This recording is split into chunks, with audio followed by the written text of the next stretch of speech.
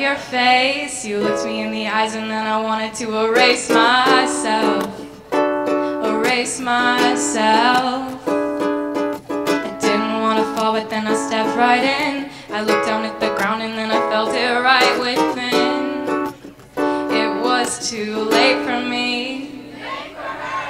You took a step forward and tilted your head With a curious glance you stared and I dead Oh my god, I think I'm dying You said hey, I said hello What's your name? I'd really like to know About you, too bad I stopped at hello I just stared and you grinned and looked right back It felt like just one big whirlwind one big emotional whirlwind. Over the next few days, we got to talking single word. I started falling farther, farther and farther for you.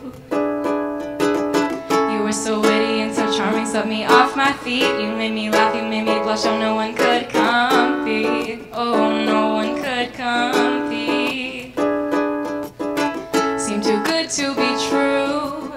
I wanted to be with you.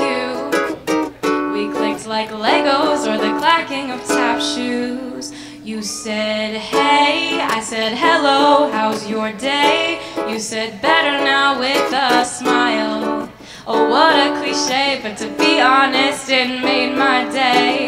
Didn't want to fall, but then I stepped right in. I looked up at your face and those eyes, they drew me in. It was too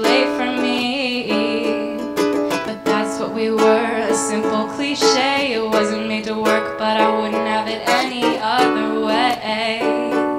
Oh, any other way Cause you were so witty and so charming Swept me off my feet. You made me laugh, you made me blush Oh, no one could compete. Oh, no one could compete.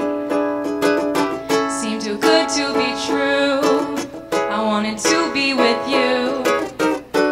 Clicked like Legos or the clacking of tap shoes. You said, hey, I said, hello, I gotta know, do you feel this way? You said, yeah, I do, yes. But I was scared of what you might say,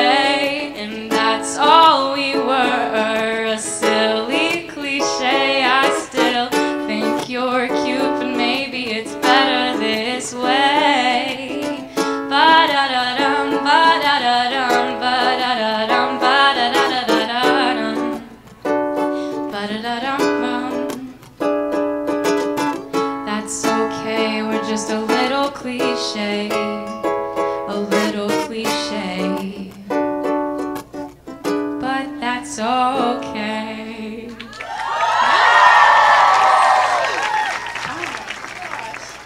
This is going good so far, I think.